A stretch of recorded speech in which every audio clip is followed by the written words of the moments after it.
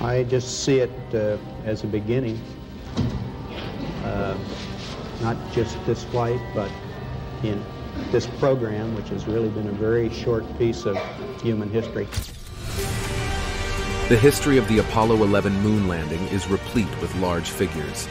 To take the first hesitant steps on an alien planet required eight years, 10 practice missions, more than 400,000 engineers, scientists, and technicians, and over 150 billion pounds in today's money. Billions of people around the world were awestruck by Neil Armstrong's moonwalk in 1969 and have been ever since. The American astronaut who walked on the moon for the first time on July 20, 1969, aboard the Apollo 11 spacecraft, is once again the focus of widespread interest. Neil Armstrong became the embodiment of myth in later life, an enigma primed to be filled with meaning by others because he was such a solitary and contemplative man who was so difficult to know. Armstrong passed away in 2012, yet the stories and legends about him continue. Join us as we explore the legends and speculation surrounding Neil Armstrong's death and Apollo 11.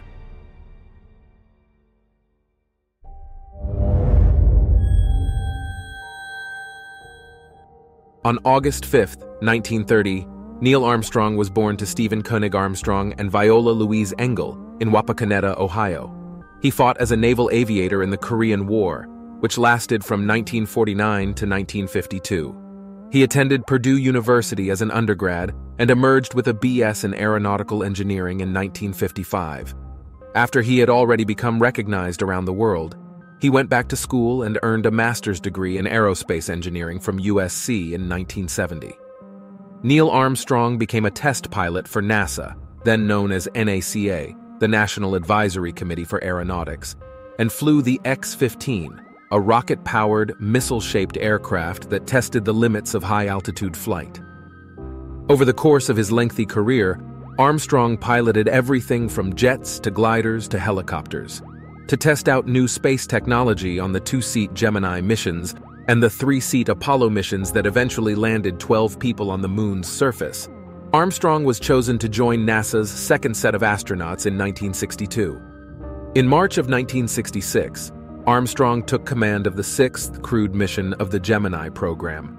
In May of 1968, while piloting the Lunar Landing Research Vehicle, a craft that could fly similarly to a lunar module and mimic landings on the moon, Armstrong almost missed a devastating accident within Earth's atmosphere. NASA stated that Armstrong was forced to eject from the spacecraft seconds before it crashed, due to a lack of fuel for the orientation thrusters. Armstrong managed to avoid injury. In January of 1969, it was revealed who would make up Apollo 11's crew. Astronaut Office Chief Donald Kent Deke Slayton assembled a trio of seasoned space explorers with Armstrong, Gemini 8, Edwin Buzz Aldrin, Gemini 12, and Michael Collins, Gemini 10, as the lead crew. A lot of hard work went into getting Neil Armstrong and the rest of the Apollo 11 crew ready to take that small step for a man on the moon on July 20, 1969.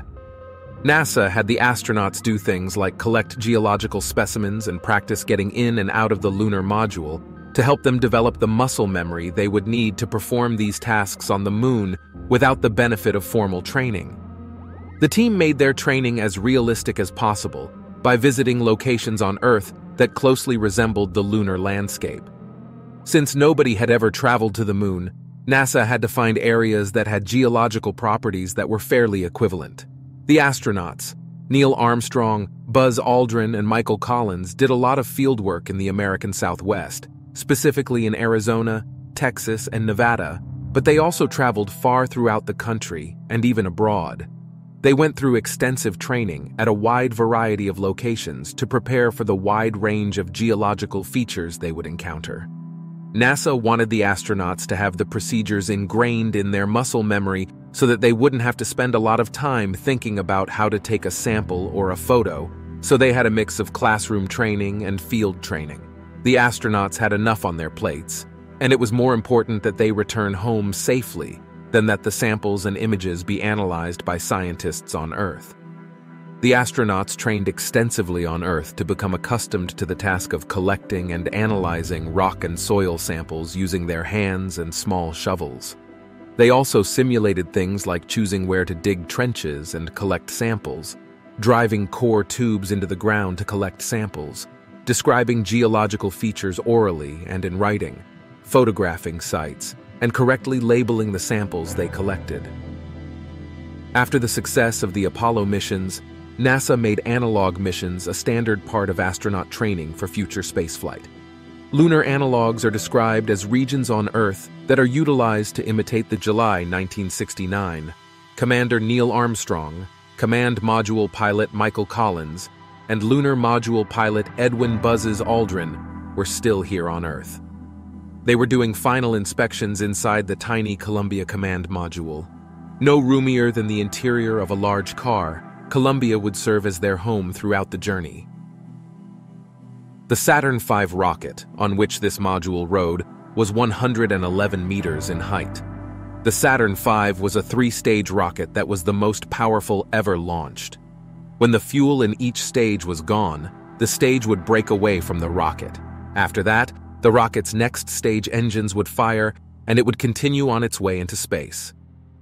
The rocket's first stage ignited and lifted off from Cape Kennedy at 9:32 a.m. local time. This phase focused on supplying power to accomplish the difficult operation of lifting the massive spacecraft off the ground. It burned through a whopping 40,000 pounds of fuel every second of its liquid hydrogen and oxygen mixture.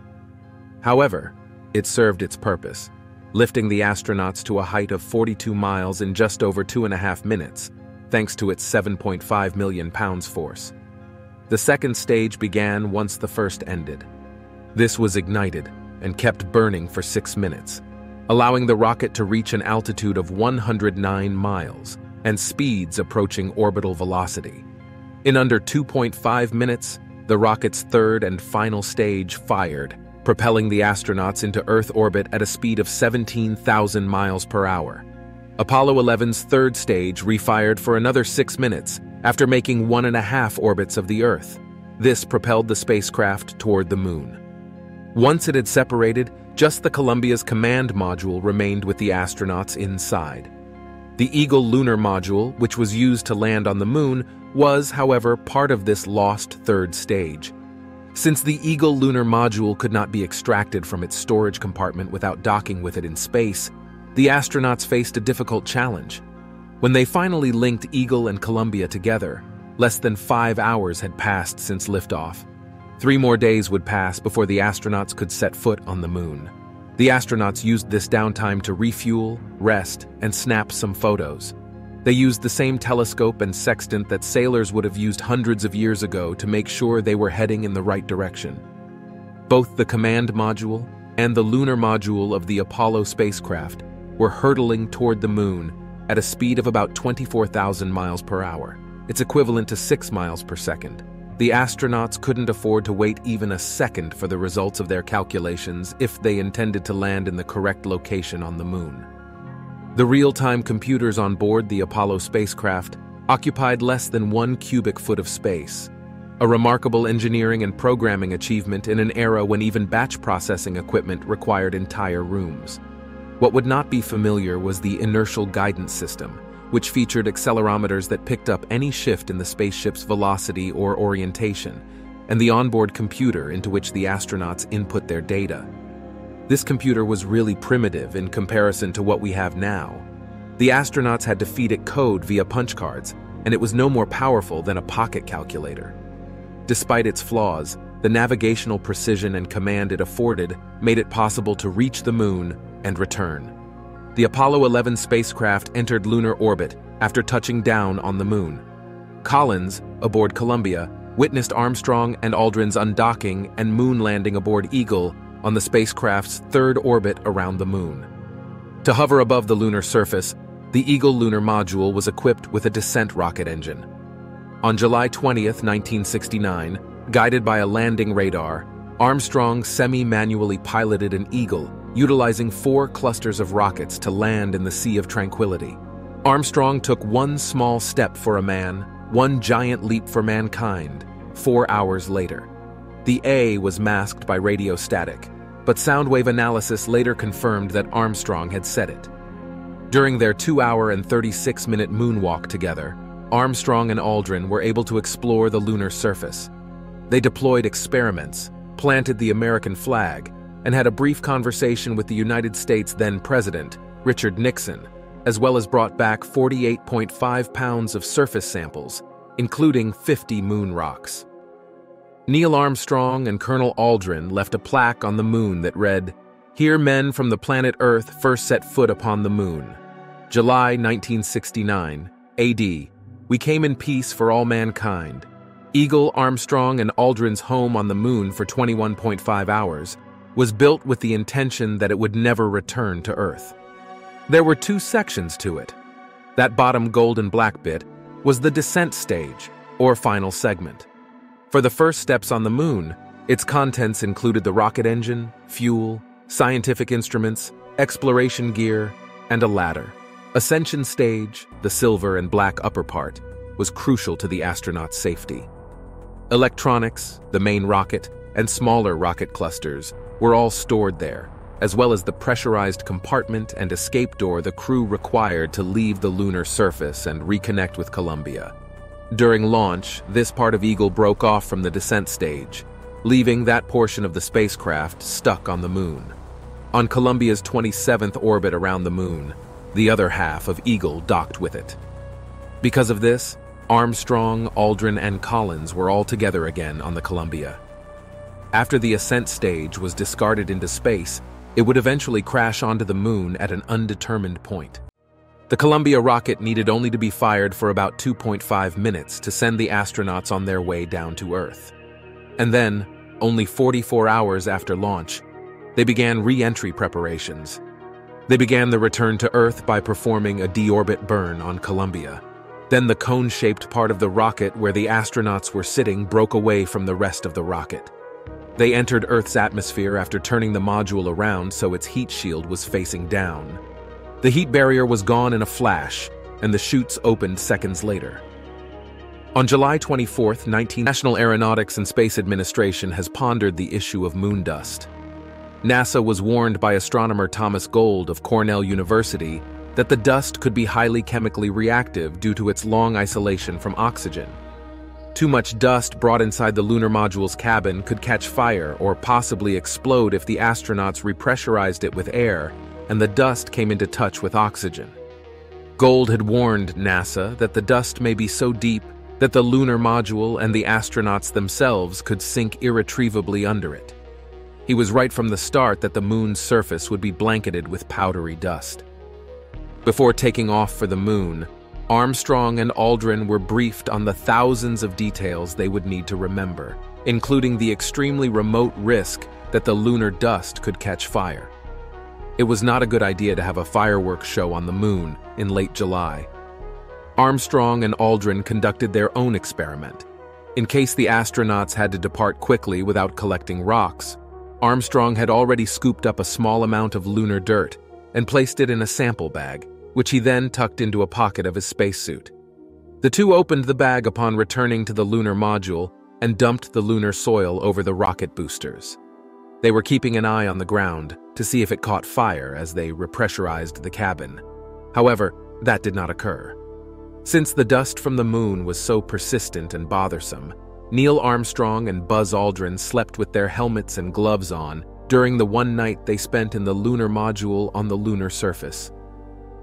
After being exposed to air and moisture in their storage boxes, the moon rocks and dust that had been collected during the six lunar landings and weighing a total of 842 pounds had lost their odor by the time they were returned to Earth. Even though spent gunpowder smells nothing like moon rock, the source of the stench has yet to be determined. The astronauts underwent quarantine to reduce the unlikely possibility that they were bringing some kind of moonbugs back with them before setting out on a world tour to commemorate the trip.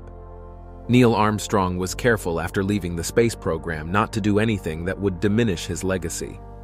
Even though he was frequently in the public eye, he avoided interviews and media attention as much as possible. In the memoir First Man, Dr. James Hansen says, Everyone gives Neil the greatest credit for not trying to take advantage of his fame, not like other astronauts have done.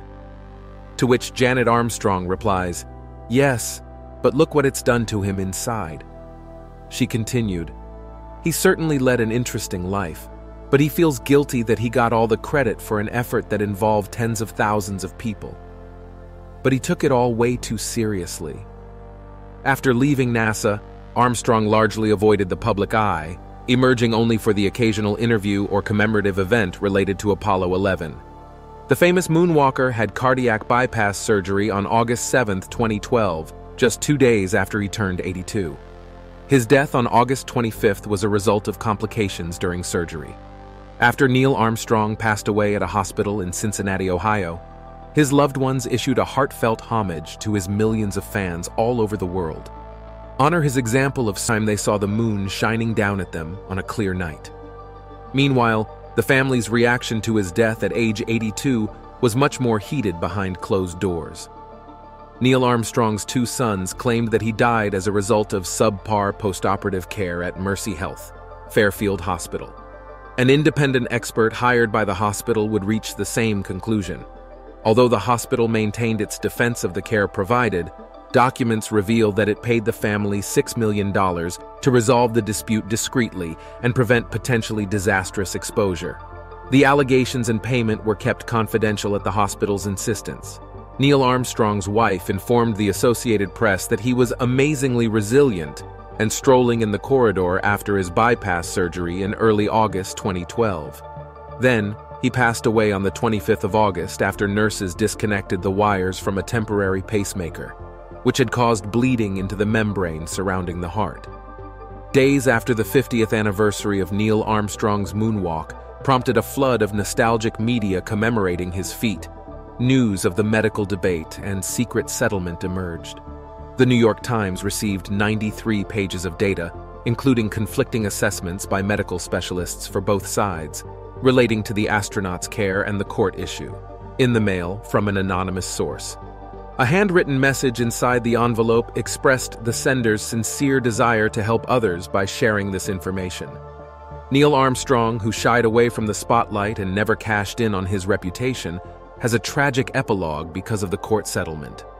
Confidential settlements in liability cases, such as those involving medical malpractice, are widespread but contentious since they shield reputations but prevent public accountability. Despite this, Neil Armstrong's family claimed in the statement that he remained a supporter of aviation and exploration throughout his life and never lost his childlike wonderment of these activities. Reflecting the remarkable public praise that came to a very private man, tributes and remembrances began appearing online almost immediately after the news of his death was publicized. We honor the life of a magnificent man who has passed away and hope that his example will inspire young people everywhere to pursue their passions, travel the world, and give their all to causes larger than themselves.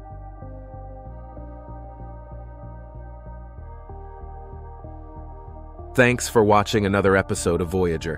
While you're still here, make sure to click the video on your screen for more mind-blowing videos about space.